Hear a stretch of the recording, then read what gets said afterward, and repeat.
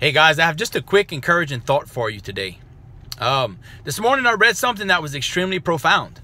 And it said that God forges our character in the fires of adversity. Think about that. God forges our character in the fires of adversity. Now, adversity is not fun. In fact, it is quite uncomfortable. It literally is like a fire. We get offended, we get angry, we feel rejected, we feel abandonment. Someone doesn't want to go along with our idea.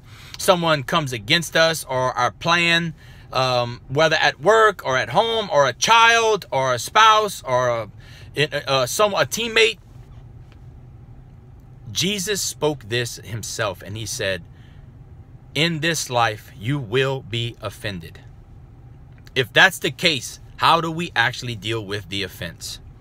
This week for Spiritual Renewal Week and Fasting, I have myself uncovered a couple of areas that I need to let go of.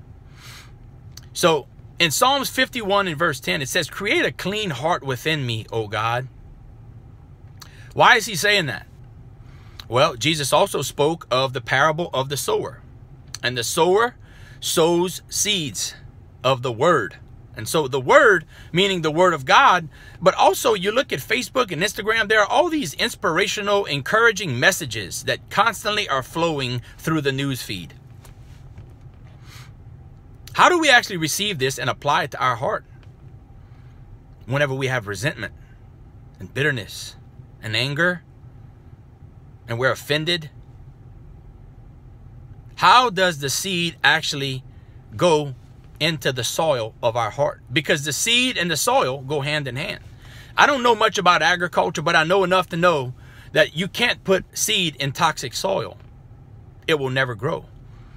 So in order to nurture the messages that we continuously hear, the encouragement, the love, the life that is spoken into us, how do we actually allow this to come to fruition in our own lives? By simply saying that prayer. God, create a clean heart within me.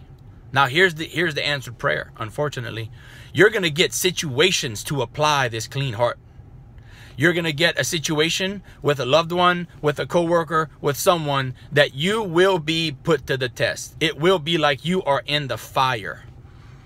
Well, instead of reacting like you always have, try responding with peace. Try responding as though you didn't even hear it. Try responding with, hey, I love you. I don't want to fight. I'm here to just enjoy your, your presence and your time. When we start to respond differently, to the same thing that's been happening to us over and over and over and over in our life. If you pay attention, it didn't just come from a coworker, a friend, a child, a spouse. This thing has been hitting you over and over and over your entire life from different people. All over.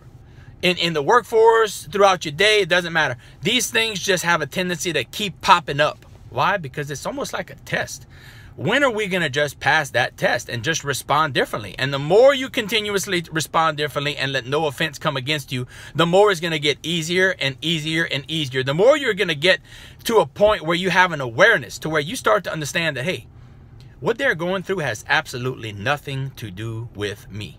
Maybe they're just having a tough time at home and their attitude has no representation of the way that I treat them. You start to have a different perspective of things in life. I just want to encourage you enjoy life. We are so blessed in this great nation to have so many things at our disposal. Stay encouraged, guys. Let go of the bitterness. Allow the stillness of God inside of your heart, the peace of God.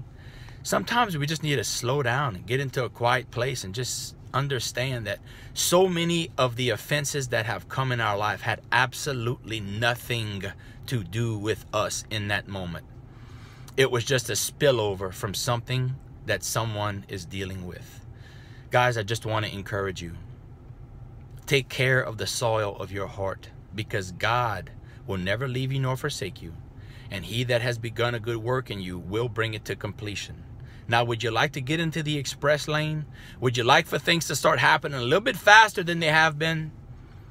Let go of the offenses and bitterness inside of your heart. Forgive them for God's sakes because you can't receive what God has for you while you're holding on so tight to the things of your past. Some of this stuff could go back to our childhood. It's not worth it, guys. Forgive them. Love them. Love them. Love them. Enjoy them. There's something beautiful about every single person on this planet. Find the beauty in that person and just love on it. I hope this encourages y'all. I hope y'all have a great week. Love y'all. God bless.